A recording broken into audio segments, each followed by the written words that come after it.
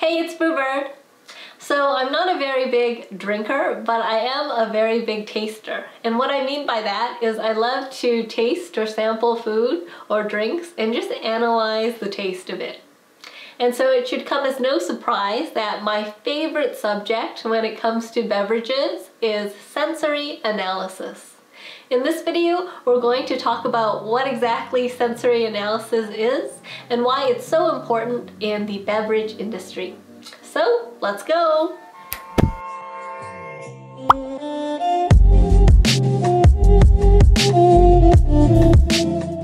The Sensory Division of the Institute of Food Technologists defines sensory evaluation as a scientific discipline used to evoke, measure, analyze, and interpret reactions to those characteristics of foods and materials as they are perceived by the senses of sight, smell, taste, touch, and hearing. Sensory analysis or sensory evaluation is a pretty new scientific discipline and it's only been around since the 1940s, but it's grown alongside the rise of consumer products and processed foods. Again, the key elements of sensory analysis are number one, identifying the properties of different drink products. And then number two, scientifically measuring those properties. Number three, analyzing those identified properties. And then four, interpreting the measured properties. So far, we haven't come up with a machine that's a complete substitute for human senses. These complex sensations are the result of interactions between our different senses. And that's why the sensory characteristics of food and beverages can really only meaningfully be measured by people. So in sensory analysis, we are the tools or instruments that are used to measure sensory characteristics in food or beverages, such as their bitterness or sweetness level. While people can sometimes detect flavors at lower thresholds than machines or tools can, using human beings as tools can have many challenges because people change over time as they grow over. And their sense of taste and smell will decrease. And people have innate biases within them, things that they like and they instinctively don't like, and also they can change their opinion a lot.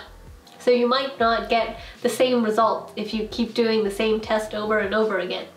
In order to combat some of these built-in challenges of using human beings as instruments, we need to repeat our measurements. We need to include more panelists in our sensory analysis. And we also need to establish strict rules and guidelines when we run our sensory panels.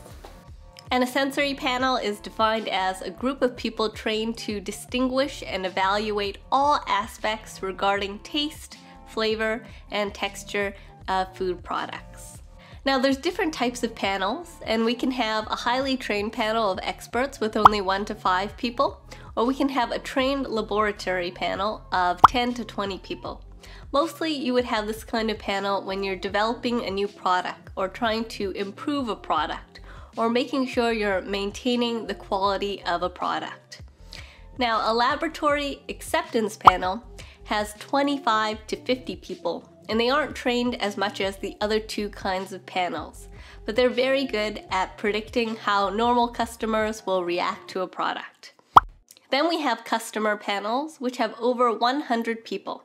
These people aren't trained in sensory evaluation, and we use this type of panel when we want to know what our customers think about the product. Now there are three basic kinds of sensory analysis tests. They're discriminative, descriptive, and affective. So a discriminative test is when I just want to know if there's a difference between samples.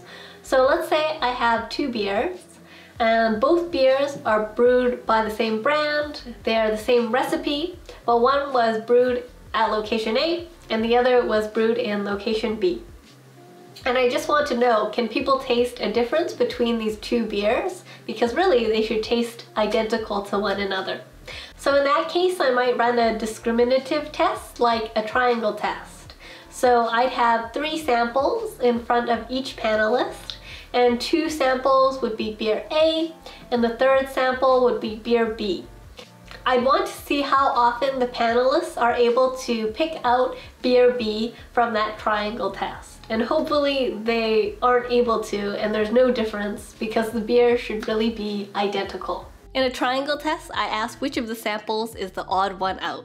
Usually, this type of test is given as a forced choice test, which means that each panelist has to choose one of the samples to be the odd one out. Even if they don't think there's a difference, they have to guess. If people are forced to choose one of the three samples and there truly is no difference between them, then each sample has a 1 in 3 or 33.33% chance of being chosen by the panelist. If there's a statistically significant difference, then sample B will be chosen more often as the odd one out. Discriminative tests only tell us if there is a difference. They don't tell us what the difference is or the degree of the difference. So using the example of beer A and beer B, if beer B tastes three times as bitter as beer A, we wouldn't be able to figure that out just from using a discriminative test, like a triangle test. This is where the other two types of tests come in. A descriptive test is when I want to have the product's characteristics described to me. So I might ask, what does it taste like? Describe the appearance of the product to me. Lastly, an affective test is when I want to know how much my product is liked or accepted. So I might ask questions like, how much do you like this product on a scale of 1 to 10?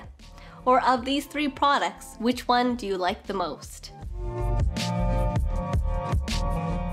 So why is sensory analysis so important in the beverage industry? Well, we use it when we're developing new drink products to make sure it's something that customers will like we also use it for quality control to make sure each beer is the same from batch to batch. And we also use it when we're changing suppliers for raw materials such as malt. And we want to know if when we change suppliers, there's a difference in the taste of the final product. So we have to make sure that it's still acceptable to consumers. I hope you enjoyed learning a little bit about what sensory analysis is. Did I mention it's my favorite subject? In the next video, I'll be talking about how to create and run your own sensory panel. So whether you're a professional brewer or distiller, or you're at home with your friends and just want to run a better tasting session, I think you'll find it interesting.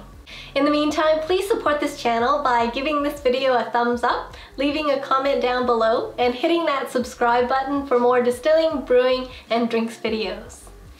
This is Brewbird, sending good vibes your way. I'll see you next time.